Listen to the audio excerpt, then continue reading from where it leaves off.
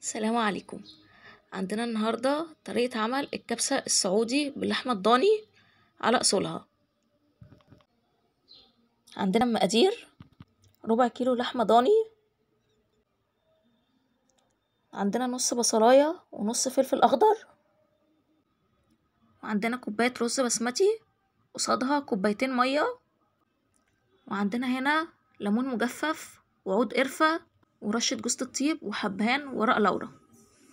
وعندنا فصين توم مفرومين. هنحط هنا معلقتين سمنة ونشوح اللحمة. وبعد ما تشوح هنحط الخضار بتاعنا. بعد كده هنحط التوم. هنحط مكعب مرق لحمة. وهنحط البهارات بتاعتنا. ونص معلقة صغيرة كركم. ورشة فلفل أسود. وهنحط مية سخنة.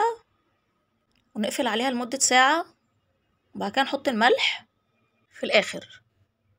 بعد كده هنشيل اللحمة بعد ما استوت ونحط الرز ويكون مغسول. ونحط عليه كوباية مية. وأول لما يتشرب نبتدي نوطي عليه ونغطي عليه. وده شكلها النهائي بعد ما اتقدمت. ممكن تقدموها مع أي نوع مكسرات. يا رب يعجبكم الوصفة.